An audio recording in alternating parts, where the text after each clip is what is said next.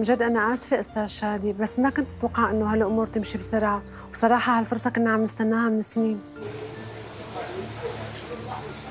مو مشكلة مو مشكلة أنا ماني زعلان. الله ييسر لك أنا بتمنى لك كل خير وبتمنى لك إنه تنجح بحياتك. بس بدي أطلب منك طلب. بدي منك ترشحي لي حدا يدير المتجر يعني عدم المؤاخذة إذا أنت مانك موجودة. أنا كمان ماني موجود عندي سفر. بصراحة أستاذ شادي أنا هدول الصبايا تعرفت عليهم جديد ومو واثقة من خبرات أي وحدة فيهم. ما فيني رشح ولا أي وحدة فيهم لأنها تشتغل بالمركز. طيب شكرا. يعطيك العافية. شكرا كثير لك أستاذ شادي على وقفتك معي خلال هالسنين أنت والسيد الوالد. عن إذنك. على عيني وعلى رأسي ميت أهلا وسهلا. الله معك.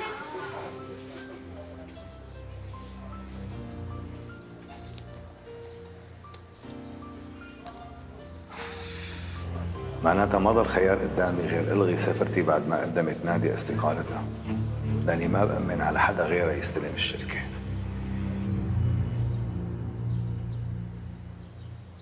اي والله معك حق يا ست نادية. يعني حدا بصح له يروح ويعيش ببلد أوروبي وبيضل هون؟ لهيك حبيت ودعكم ووصيكم بهالمتجر وبالاستاذ شادي. يلي طول عمره موقف معي وداعمني وموقف جنبي وأكيد حيوقف جنبكم ويدعمكم طول ما أنتم عم تشتغلوا معه. لا تاكلي هم ست نادية لا تاكلي هم سافري وإنت كثير مطمنة. أكيد أكيد سافري وإنت مطمنة لأنه يعني الأستاذ شادي أخونا وغالي كثير علينا وأنا بتمنى لكم النجاح والتوفيق بشغلكم. بس ابقي تذكرينا ها يعني لا تنسينا. أكيد يا روحي مجرد ما أوصل على ألمانيا فورا حأتصل فيكم. حبيبة قلبي. وأطمن عنكم وتطمنوني عنكم. أكيد أكيد. الله يوفقك أنت وعيلتك حبيبة قلبي. يا عمري. bye. bye الله معك. بالسلامة. تقبرينا bye. الله يكون معك. وهلأ اجت الفرصة المناسبة لحتى أصير أنا المديرة بدل نادية أيوه وليش جنابك كثير واثقة من حالك ست ريان إنه انت رح تصيري المديرة؟ ما فهمت. سميرة إيه؟ لا تنسي إني أنا أقدم منك بهذا المتجر. توظفت قبلك بأسبوعين. آه أسبوعين. إيه صح. إيه تعي تعي. امشي على الشغل. أهلين بابا. أهلين. صحيح الخبر اللي وصلني قبل شوي إنك أجلت سفرتك لدبي؟ أي والله يا بابا مزبوط نادية مديرة المتجر اللي عندنا تركت الشغل وبدها تهاجر على ألمانيا. وأنا بصراحة ما بوثق بحدا بغيابها. يعني إذا أنا غبت وهي غابت مشكلة وخاصة إنه الموظفات اللي عندنا لسه ما عرفنا خيرهم من شرهم.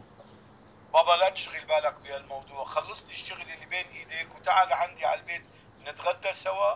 وعند عشية إن شاء الله بنروح على شي قهوة نتبحث بالموضوع. لا يكون لك فكرة وهو هيك بابا. يلا. يلا رح سكر وأجي لعندك فورا. أمرك أمرك بابا. الله معك.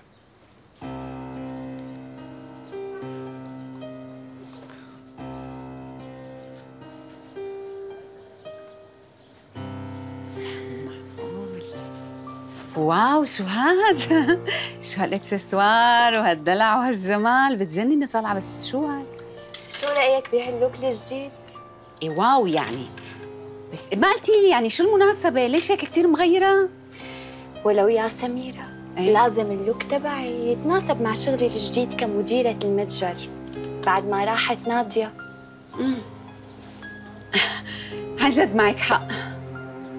مديرة المتجر. شلون الشغل اليوم رواق؟ إيه طبعا مثل ما بدك مثل ما بدك وأحسن. أم أه تيجي نشرب قهوة سوا؟ أوكي نشرب. يلا. تفضل. هاي القطعة أستاذ أنا بعتقد كتير حلوة شوف ما أجملها. وفيك تاخدها يعني هدية لمرتك وتشوف حالك فيها. وبعدين سعرها كتير يعني معقول مانا غالي. كتير حلوة شو رأيك؟ والله مزوقة. طيب okay ضبي لي إياها بكرتونة. okay تكرم عينك تفضل معي. تفضل أستاذ. يلا ثواني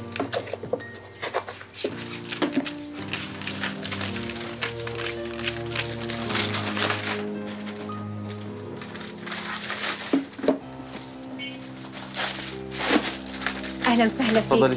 أهلا وسهلا شكراً. فيك. شكرا كثير لك. الله معك أستاذ.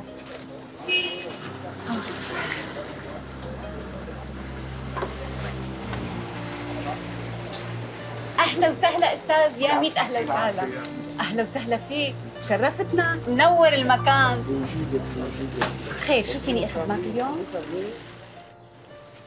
أنت شو جابك لهون عم؟ سميرة اعطيه قرشين وخليه يتفضل لبرا. يلا. إذا بتريدي أنا ماني شحاد ولا لي جاي آخذ حسنة منك أنا جاي أشتري هدية لزوجتي. أنت جاي تشتري هدية؟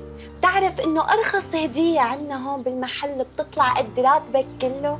ريان هيب هالحكي شبك؟ لك شبكي أنت هاد مو زبون الزباين يلي بتجي لعنا كلها هاي هاي.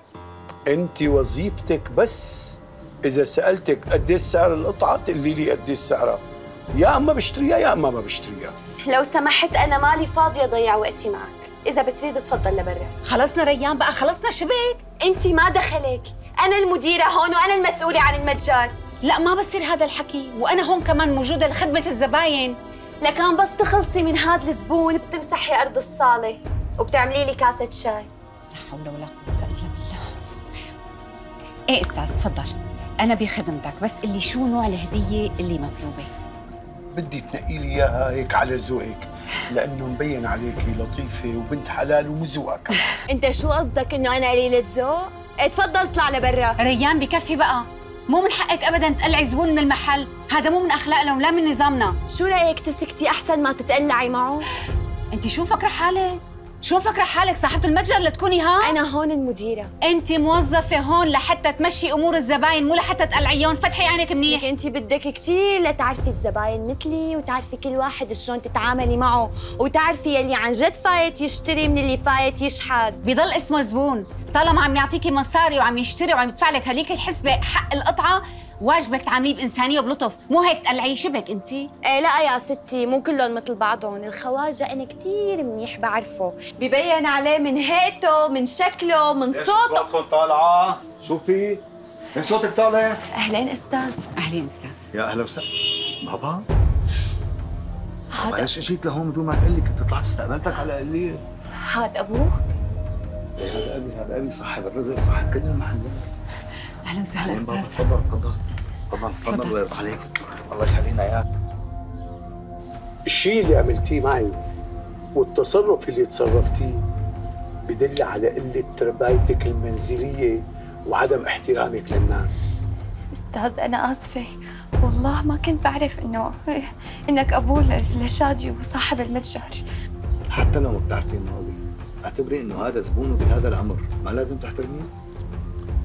أول شيء أنا قد أبوك إذا ما كنت أكبر. والطريقة اللي حكيتيها بدل على إنك أنت مو مرباية منيح أبدا. نحن بهذا المتجر عندنا اسس وعندنا معايير بنشتغل عليها. وأهم أساس بنشتغل عليه هو الأخلاق. لأنه نحن دائما عندنا الزبون على حق.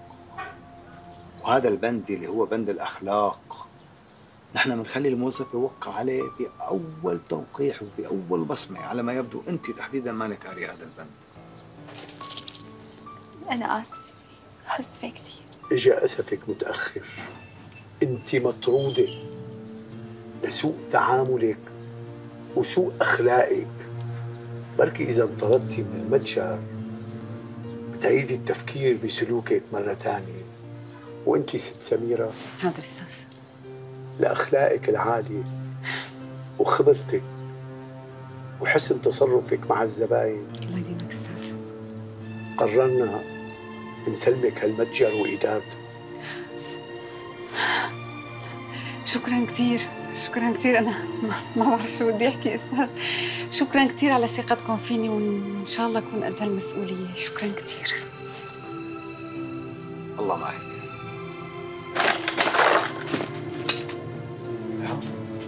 هلا صار فيني اسافر وأنا مرتاح كتر خيرك. شكرا كثير أستاذ.